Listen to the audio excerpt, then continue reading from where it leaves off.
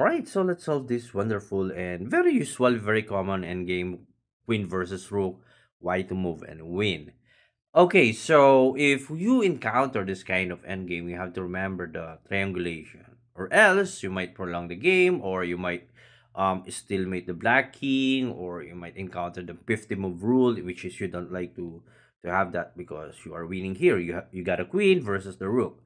Now, um, one of the uh, moves or solution that I received after I posted this one is queen to c1, which which will lead to may may, may lead to a draw or a stalemate because the rook will just go rook b3 check, then king c2, rook c3.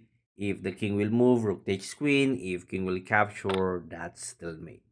So moving queen c1 is not a good move, even though the king, let, let's just move away. King c4, rook b4, it captures, once again, stalemate. Um, let's try to move king b, and then um, black rook will just go back to b2. So it will not give any, you know, progress at all.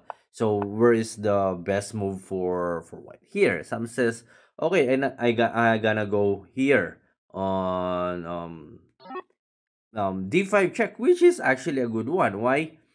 Um, king b1 and now queen h1. This is called triangulation. As you can see, after king a2, you have to go back to queen d1.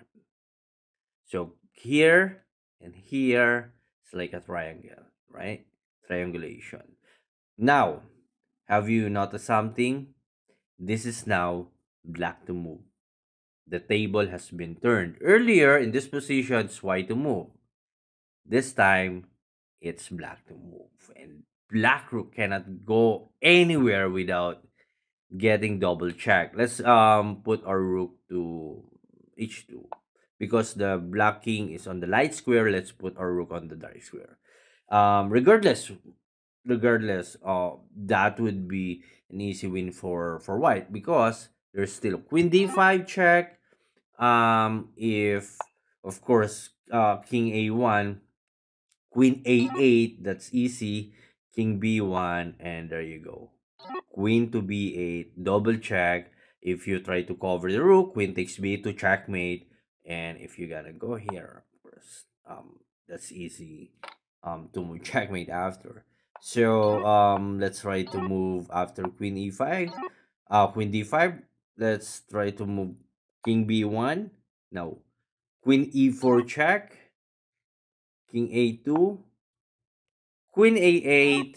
Same idea. King b1. And then queen b8. Okay, let's not, after um, queen e4 check, where will you put your king? You can't go here because that is checkmate.